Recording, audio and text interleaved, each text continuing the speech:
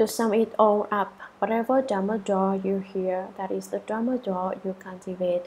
These are examples of offerings which enable others to cultivate according to the teachings. Of all offerings, these gifts of Dharma are supreme. How important are they? When Shakyamuni Buddha was on the causal ground, he gave up his life for half a gatha, not for an entire gatha, but for just two lines. A gatha is a poem of four lines, and he gave up his life for half of it. One day he heard a Rakshasa ghost say, All practices are impermanent. This is the Dharma of production and extinction. When Shakyamuni Buddha heard this, he said, You've spoken some verses of Dharma, but you've only spoken half. Will you speak the second half for me?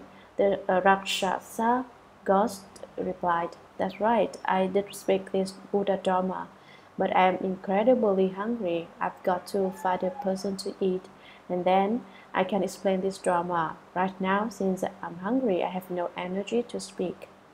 Shakyamuni Buddha said, Is it alright if you speak first and then eat me? The Rakshasa ghost said, You let me eat you? Shakyamuni Buddha replied, Yes, but you must give me this Dharma first. After I understand, then I'll be happy to let you eat me. The Rakshasa ghost said, All right. And then he recited the remainder of the Gatha. He said, After production and extinction have been extinguished, still extinction is bliss. Then he said, I finished speaking this Dharma, now I can eat you. Shakyamuni Buddha said, Wait a minute before you eat me. The Rakshasa said, Are you backing down? Now don't you want to pay your debt? I've already answered you, but now do you want out? Is that how you keep an agreement? Uh, Shakyamuni Buddha replied, No, but since you have spoken these four verses of Buddha Dharma, and since most people have not heard the Buddha Dharma, I want to carve these, these lines into a tree. Afterwards, you may eat me. Will you agree to this? The Rakshasa ghost thought a while and said, All right, go ahead and carve it into a tree. Then Shakyamuni Buddha carved the four-line gatha into uh, the base of a tree with a knife. But then he thought, trees are not that solid. But the Rakshasa ghost is again eager to eat me.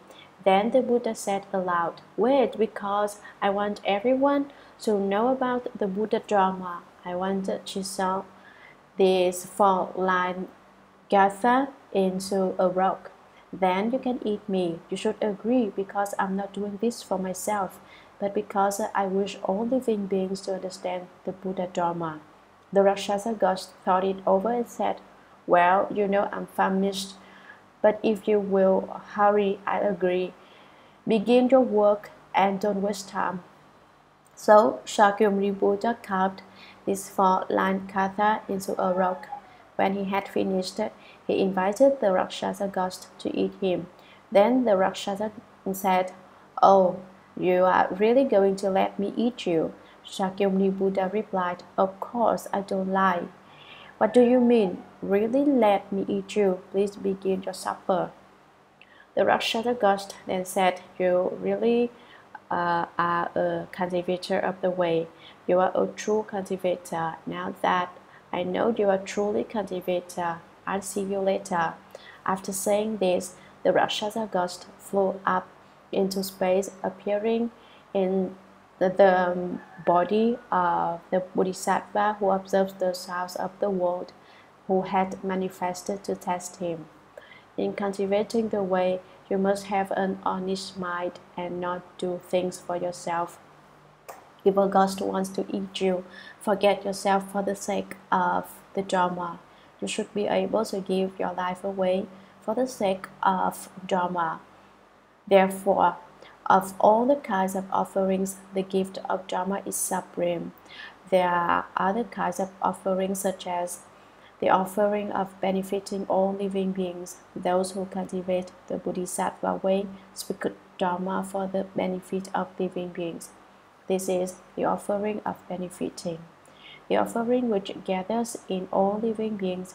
To gather in means to see all living beings as one's sons and daughters. You should be without discrimination and compassionately gather in living beings.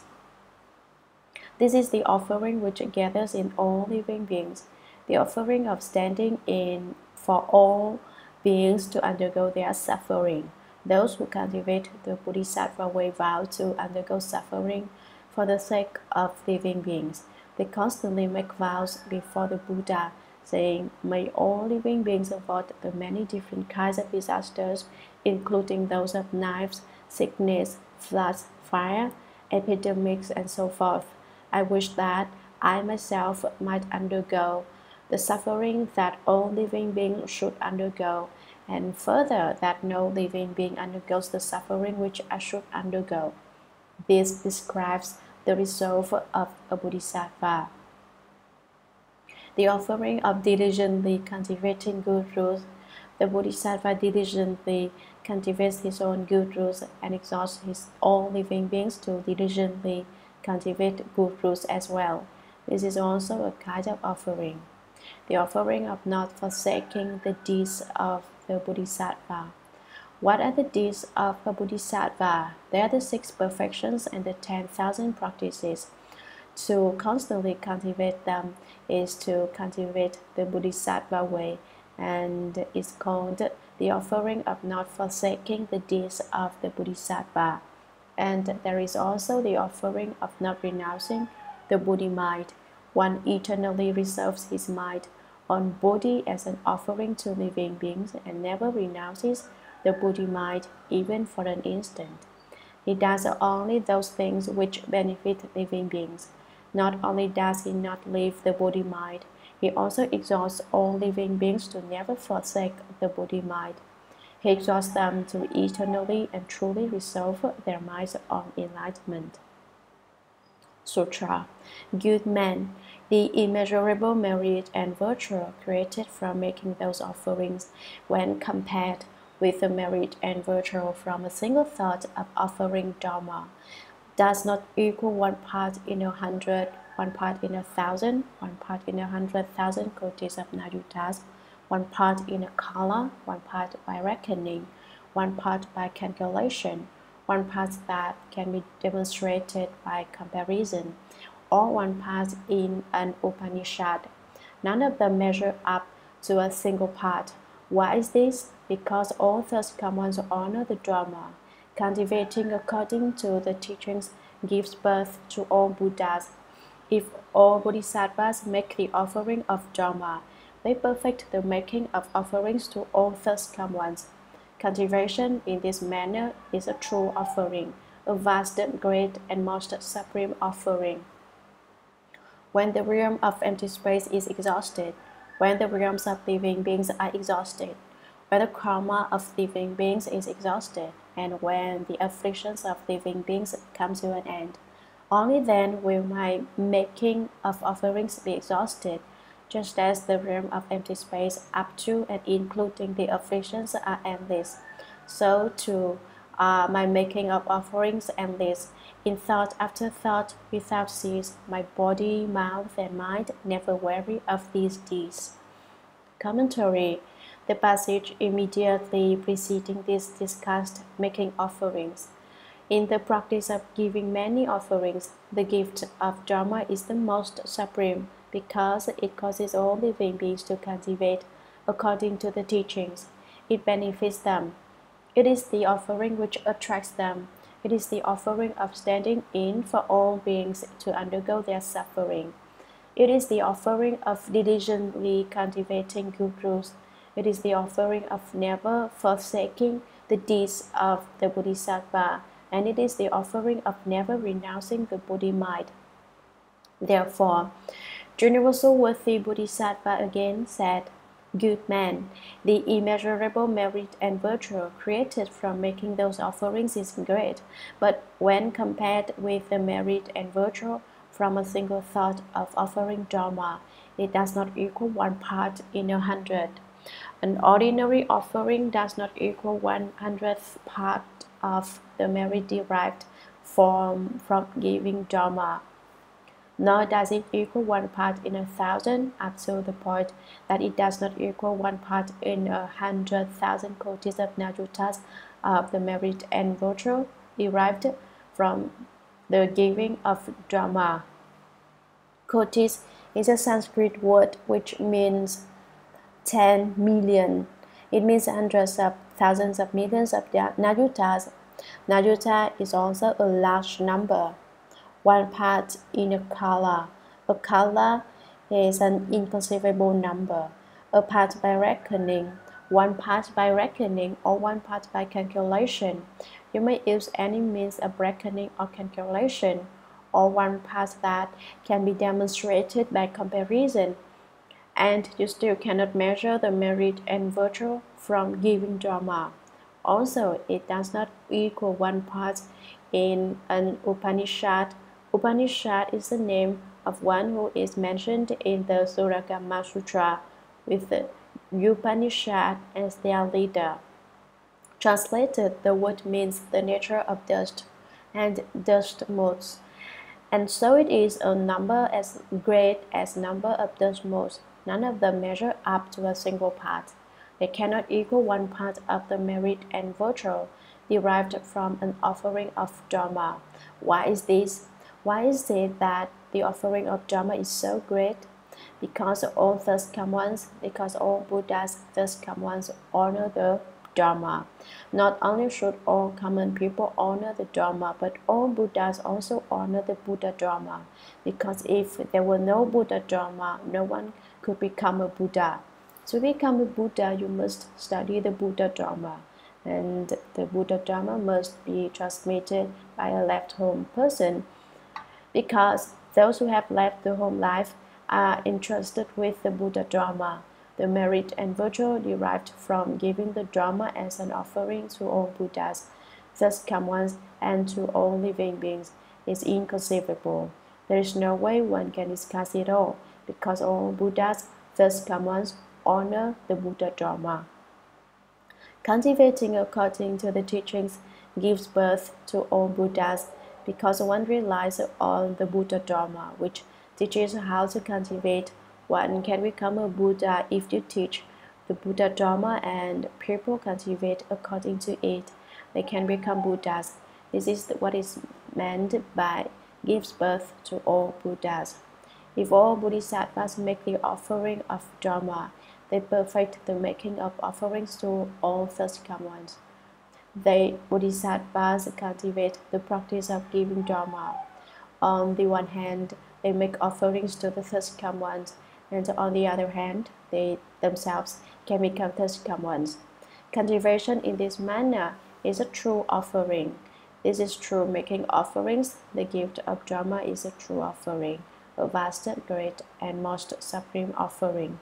The offering of dharma is the most extensive and supreme offering when the realm of empty space is exhausted, when there is no more empty space, when the realms of living beings are exhausted, when there are no more living beings, when the karma of living beings is exhausted, when the karmic obstructions of living beings are no more, and when the afflictions of living beings come to an end, and when living beings have no more afflictions, only then will my making of offerings be exhausted. When these four things empty space, living beings, living beings' karma, and living beings' afflictions no longer exist, then my giving of offerings need not continue. I need give no more. But since the realm of empty space, the realms of living beings, the karma of living beings, and the afflictions of living beings are endless, and there is no way they can be exhausted, no way they can be finished, so too are my gifts of offerings endless. Therefore, my resolve to extensively and greatly make offerings and to extensively cultivate and giving of offerings is inexhaustible and never ending. The strength from this vow continues in thought after thought without cease and never ends. My body, mouth, and mind never weary of these deeds. When I give offerings with my body, I never grow weary. When I give offerings with my mind, I never grow weary. and when I give offerings with my mouth, I never become tired. There is a saying about the karma of body, mouth, and mind. When no, long, no anger appears in the face, then the offerings is complete. When the mouth is without anger, the saliva is fragrant. When the mind is without anger, it is a precious pearl. To be without stupidity and greed is the fragrance of giving. When one is without angry facial expression, that is a complete offering. When you do not engage in harsh speech, you emit a fragrant breath. When you have no angry thoughts in your mind, your mind is an offering of a precious pearl, and the best offering is to be without stupidity, anger, and greed. This is a true and complete offering. Sutra Moreover, good men, to repent of karmic obstacles and reform I explained like this. The Bodhisattva reflects from beginningless kalpas in the past. I have created all measureless and boundless evil karma with my body, mouth, and mind because of greed, hatred, and stupidity. If this evil karma had a substance and form, all of empty space could not contain it. Commentary After explaining the previous vow, to extensively cultivate the making of offerings. The Bodhisattva says, Moreover, good man, now we want to understand the importance of repenting of our karmic obstacles and reforming. If you cultivate the giving of offerings but do not repent of and reform your karmic obstacles, there can be no real benefit. So, Universal Worthy Bodhisattva says, to repent of karmic obstacles and reform is explained like this. Repentance has been explained as a contrition for previous offenses, to be sorry for offenses committed in the past. Reform means to correct oneself so one does not make further mistakes. In Buddhism, we learn to bow repentances. This means that we earnestly bow before the Buddhas repenting of our mistakes. In doing this, you must be extremely sincere and not be scattered, and then your repentance will be efficacious. When the great master Chi, Chua was alive, the Shurangama Sutra had not yet come to, from India to China, and so he bowed to the west, and the name of the Shurangama Sutra we bowed for 18 years but still did not see the Shurangama Sutra. If we were to bow for something and we did not attain it, then before 18 months had passed, not to speak of 18 years, we would think, oh, my bowing is useless, I'm not going to bow anymore. For his entire life, the great Master Chitra bowed to the Dharma Flower Sutra. Not only that, he wrote out sutras and he wrote out the entire Tripitaka time and time again. The Buddha images he painted and made from wood totaled over 80,000, and from morning to night he bowed repentances. When the great Master Chitra was born, his mother saw a five-colored light in their home, and so he was named Chitra, the Wise One. When he was in his early teens, he heard a Dharma master reciting the Universal Door chapter of the Dharma Flower Sutra, at which time he memorized the entire chapter just as if he had read it in a previous life. Later, when he went to see the great master Nan Yao, the great master said, Oh, you've come. In the past, we were part of the Vulture Peak assembly and we heard the Dharma Flower Sutra. Do you remember that? Now our conditions have ripened and we have come together again here. The great Master Nan Yao then taught him the peaceful happy conduct chapter and told him to recite and bow to the Dharma Flower Sutra. Master Chitra about until he reached the chapter on the original affairs of medicine King Bodhisattva, when at once he became enlightened. After his enlightenment, he told the great master Nan Yao about his experience. I bowed to the sutra and recited it until I got to the lines. This is called true vigor. This is a true Dharma offering. Then I saw Shakyamuni Buddha at Vulture Peak. Vulture Peak, still speaking the Dharma Flower Sutra. What is the meaning of this? The great master Nan Yao certified him, saying, Only you could have this wonderful experience. I and only I could recognize it. Therefore, I, it had to be you to attain this state, and it had to be me to understand it to certify you. So now you have attained the initial expedient of the Dharma flower samadhi. The swung Dharani, the single turning Dharani. After the great master certified him, Master Chitra's wisdom and eloquence grew limitless. The great master Nan Yao said to him, With your wisdom, you can defeat thousands upon tens of thousands of common Dharma masters in debate. None of them can equal you. After this, the great Master Chitra's wisdom opened up completely, after which he applied himself even more vigorously in cultivating the Dharma Flower Sutra.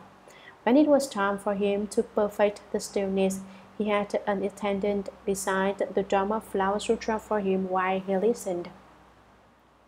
After this was finished, he told the attendant to bring him some mouthwash.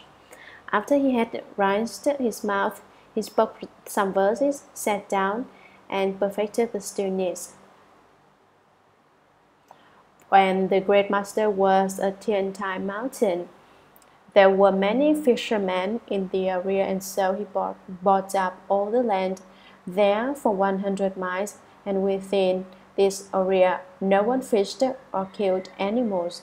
Further, all the local people took refuge with him. The great Master Chitra was inconceivable, and he specialized in bowing repentances. Most people who bring forth thoughts of repentance and reform are bodhisattvas. Common people without gurus basically do not repent, how much the less reform. Like those who take refuge with the triple jewel. some like to recite sutras and bow to the Buddhas, and some do not. Some start out with the idea that everyone should recite sutras.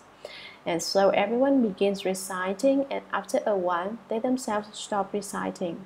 This just shows that they have not gotten rid of their karmic obstacles. The Bodhisattva reflects from beginningless kalpas in the past. Beginningless refers to past lives, reaching back so far that there were ends upon endless ends, never a beginning. I have created all evil karma which is measureless and boundless. The evil things I have thought, said, and done are without measure and have no limit.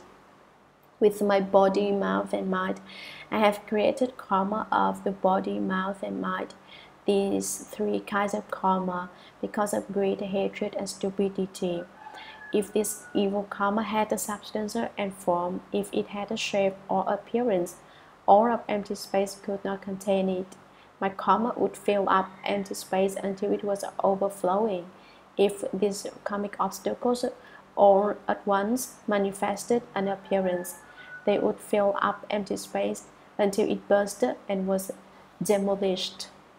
Sutra I now completely purify these three karmas, and before the assemblies of all Buddhas and Bodhisattvas, Throughout the Dharma realm, in lands as many as find most of dust, I sincerely repent of and reform my offenses and vow never to create them again. I will always dwell in all merit and virtue of the pure precepts. So it is that when the realm of empty space is exhausted, the realms of living beings are exhausted, the karma of living beings is exhausted, and the afflictions of living beings are exhausted then my repentance will be exhausted. But just as the realm of empty space up to the afflictions of living beings are endless, so too my repentance and reform are endless. They continue in thought after thought without cease. My body, mouth, and mind never weary of these deeds. Commentary Although this Bodhisattva considers his karmic obstacles to be extremely many, he nonetheless thinks I will not completely purify these three karmas. he decides not to create any more karma with his body mouth or mouth or mind, but with his three karmas purified, he thinks, I will appear before the assemblies of all Buddhas and Bodhisattvas, and will go throughout the Dharma realm in lands as many as find most of dust, and sincerely repent of and reform my offenses, and vow never to create them again. One should repent with an extremely sincere mind and vow never to create these kinds of offenses again. The Bodhisattva further reflects I will always dwell in all merit and virtue of the pure precepts. I will dwell in all this merit and virtue, in the precept mark of merit and virtue that I receive. So it is that when the realm of empty space is exhausted, when there is no more empty space, when there are no longer any, um, any living beings, even up to the point that the karma of living beings is exhausted and the afflictions of living beings is exhausted, then my repentance will be exhausted. At that time, my vow to repent will be complete, but just as the realm of an empty space is endless, living beings are endless. The karmic obstacles up to the afflictions of living beings is exhausted, and the afflictions of living beings is exhausted, then my repentance will be exhausted. At that time, my vow to repent will be complete. But just as the realm of empty space is endless, living beings are endless. The karmic obstacles up to the afflictions of living beings are endless. So too, my repentance and reform are endless. It continues in thought after thought, in each thought without ease, without cease. It never ends. My body, mouth, and in never weary of these deeds. My body, mouth, and mind never weary of these deeds. The more one vows repentance, is the better. But never retreats, saying, This is too much suffering. I'm really tired. The Bodhisattva never tires, but the more he bows, the more energy he has. The more he repents, the happier he gets. This is true repentance.